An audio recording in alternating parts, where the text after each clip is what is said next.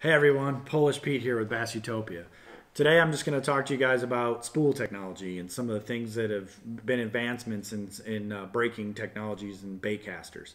So the two reels I have here on the table in front of me are a Tatula 100 and, a, and the new Tatula SV. Uh, the Tatula 100's price points like 159.99.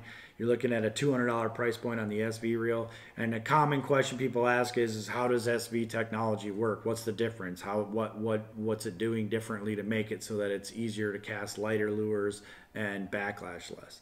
So I'm going to show you how a traditional braking system works from Daiwa and this does come into play a little bit with other manufacturers as well with centrifugal spool speed and how the magnetic brakes affect things, but this is pretty unique to Daiwa, this particular system, but uh, since they are so popular right now, we thought we'd show you some of the features and benefits and how it works.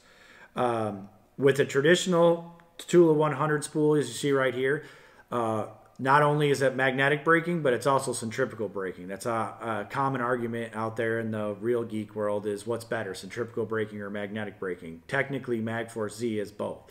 So spool RPM, so however fast this spool is spinning, centrifugal force, does affect how much this brake works. So what this gold piece here is, is called an induct rotor.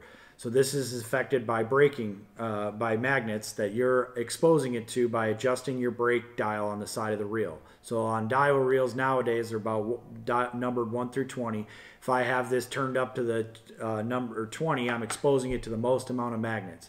And as I cast, this spool starts rotating. The faster it rotates, based on speed, this induct rotor actually starts traveling outward. So I don't know if you can see it there. I'll put it forward. If, if as the spool is spinning, I'm using my right hand here and I'm pulling outward on, on this induct rotor and it's traveling outward.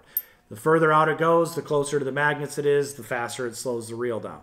Okay, so you can imagine how it would look on a chart. It's speeding up, getting to its maximum speed, and, and the brakes getting affected by the magnets the most and it's slowing back down and this and this induct rotor starting to travel back in. So as far as casting distance goes, that's where this spool, this technology shines.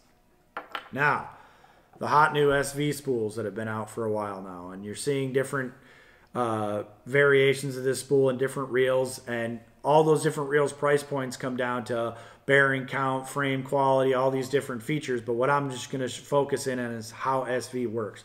So the first thing right off the bat you can notice is the induct rotor on a traditional brake is a lot smaller than an SV induct rotor. So much more braking power on an SV spool.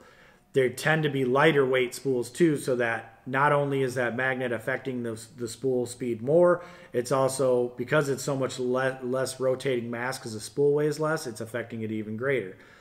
The biggest difference and what makes SV technology so much different than a traditional brake is instead of requiring spool speed or RPM to, to activate the brake, it's mechanical. So as before with my right hand, I was pulling out on that induct rotor.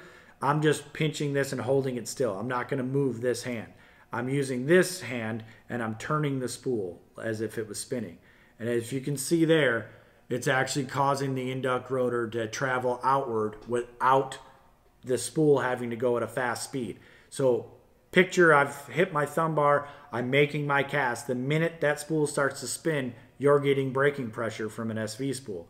So it's helping me when I'm skipping, throwing a light lure, throwing into the wind, anything like that. I'm getting braking pressure immediately as I make a cast.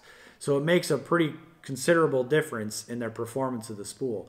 So think of it this way. If, if I'm throwing a bait that's easy to throw and I want to throw it long distances in the wind, let's say a three quarter ounce rattle trap or a three quarter ounce football jig, half ounce and up, and I want to just throw it as far as I can, a traditional spool to me is more effective.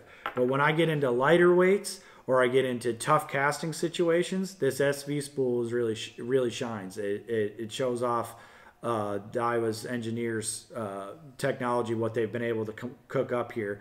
Uh, and right now, I think for all around fishing, whether you're a beginning, beginner or an expert, there's applications where the SV spool is going to shine for you. So I check them out uh, at omniafishing.com.